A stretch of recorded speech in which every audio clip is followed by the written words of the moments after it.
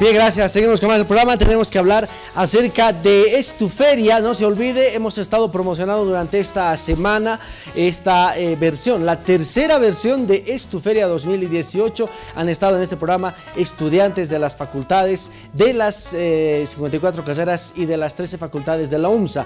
Quiero saludar, está con nosotros Consuelo y María. Ellas son de la Facultad de Tecnología egresadas de la carrera de Química Industrial. Consuelo, bienvenida. Gracias por estar con nosotros. Muy buenos días.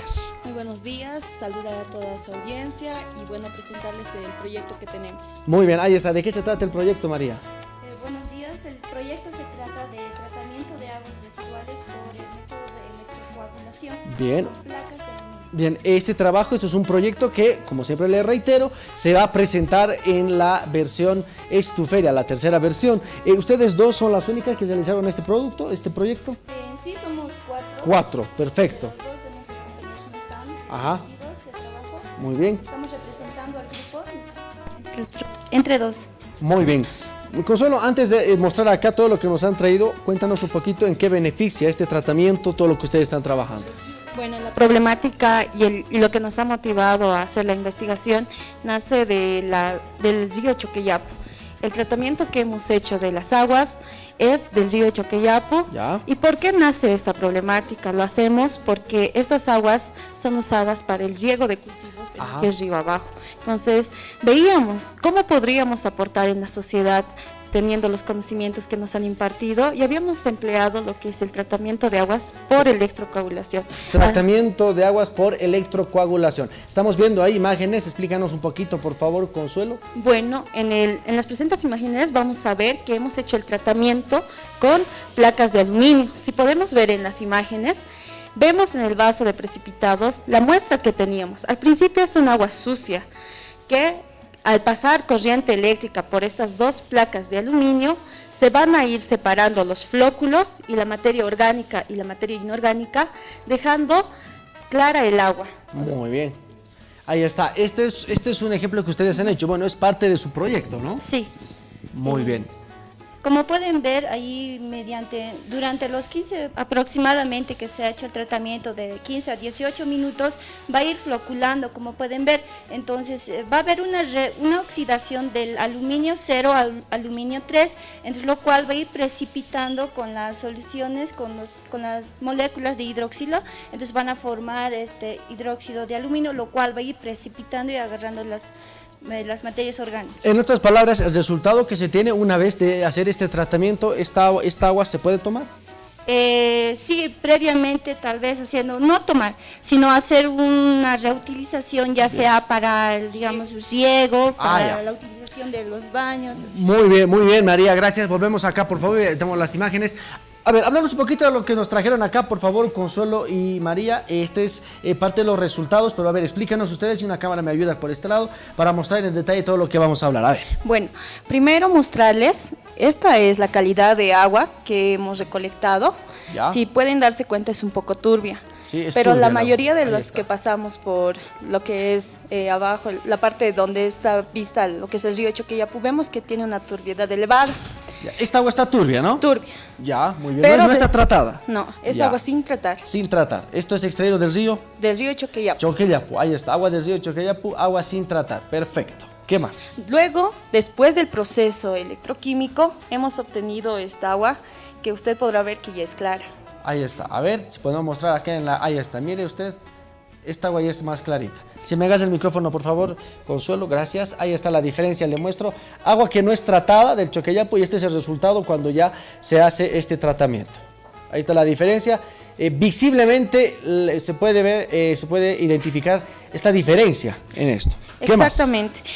Refiriéndonos a parámetros ya físico-químicos, la turbiedad inicial de esto era de 168 NTUs y al final hemos obtenido una turbiedad de 1,5 NTUs. ¿Este tiene 1,5? 1,5. Ajá, muy bien. Este tiene 1,5, entonces ha dejado de ser el agua turbia en sí. Pero no se puede tomar.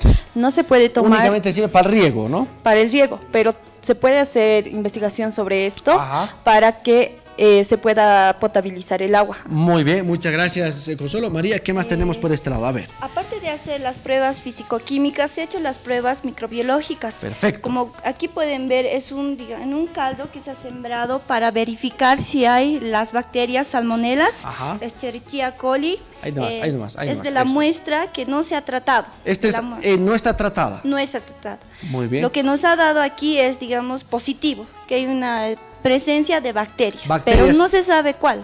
No se sabe cuál, pero hay bacterias en este eh, líquido que ustedes ven acá. ¿Verdad? Esto también es río Choqueyapo. Del río Choqueyapo. Muy bien, perfecto. Bueno, esto ya es de la muestra tratada, como pueden ver, pero sí hay una turbidez, pero son de las Sigue- pruebas que se ha hecho. A ver, podemos, hágase el micrófono, María, por favor. Eh, ahí está, hágase el micrófono, ahí está. Dos ejemplos, ¿no? Sí. Este nos decía en un principio que tiene eh, bacterias. Bacterias. Se ha tratado y se ha llegado a estos resultados. Si la cámara me ayuda, por favor, a este resultado. Podemos ver que todavía hay, es- esta agua de acá, esta sigue siendo turbia. Sí, Se ha hecho un tratamiento por tercera vez. Por tercera vez y Ya. luego de ese tratamiento se- aquí se tiene que no haya aquí, mira, presencia de bacterias. Muy bien, aquí está. Esta es la tercera, ¿no? El tercer resultado. Sí. No hay bacterias. No. Muy bien. Esto se ha hecho por, la, por otro método, por el NP, número más probable. Ya. Pero aquí se ha hecho las pruebas de placas, como De pueden ver. placas. Sí. Ahí está. Ese es con un agar Maconkey, que se puede ver que hay presencia de coliformes. Muy bien, Tanto positivas como negativas. Ahí en está. aquí hay una presencia de coliformes de lactosas negativas, donde aquí podría haber probabilidad de que haya salmonelas. Piensa por acá, mira, pues, manito, ahí está, ahí está la diferencia. ¿Verdad? Acá puede haber salmonela, probabilidad Salmon- de salmonela. Sí. Perfecto. Tanto Escherichia coli y otras bacterias más. Bacterias, perfecto, muy bien. Las dos bacterias que hemos tomado en presencia, que generalmente se hace este, la verificación, son Salmonella Escherichia coli. Muy bien. Como pueden ver, aquí tenemos otra prueba que se ha hecho del agua no tratada. Este es agua, de no, agua no tratada, bacterias. Podemos mostrar Sí. ahí. Eso es. Es- Ahí, ahí está. Aquí se ha hecho una, un aislamiento de solo de la bacteria Escherichia coli. Ahí. Y como pueden ver, hay una formación de colonias verdes plateadas. Ya. Eso nos indica que hay sí presencia de E. coli. Hay presencia acá. Sí. Muy bien, perfecto. Y Aquí tenemos otra prueba que, digamos, después del tratamiento que se ha hecho, se ha hecho una filtración, pero se ha secado. Como pueden ver, aquí hay una mínima cantidad de lodos que se ha formado. Esa sería la ventaja de este tratamiento. bueno, e- estos son los lodos que se ha formado, ¿no? Sí. Como podemos observar. Ahí están, el lodo que se ha formado.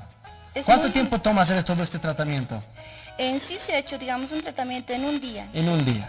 Bien, ahí está entonces parte de la demostración de María. ¿Algo más para finalizar? ¿O eso es todo? ¿Algo más, Consuelo, por favor? Bueno, invitarles a pasar por nuestro stand para mayor información. Vamos a estar en lo que es la disertación en el monoblog. También decirles, incentivarles a cuidar el medio ambiente, porque esta, este proyecto ha nacido para cuidar las aguas que pasan.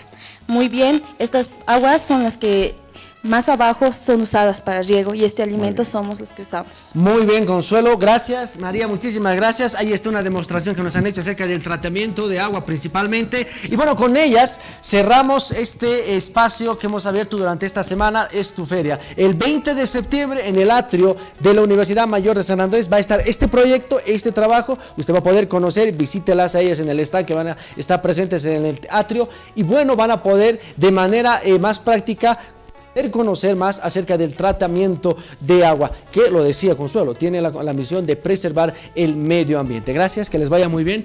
20 de septiembre en el atrio de la UNSA, eh, la tercera versión de Estuferia. Con ella cerramos este espacio Estuferia en el programa y también finalizamos eh, la hora del Chucuta. El reencuentro mañana viernes.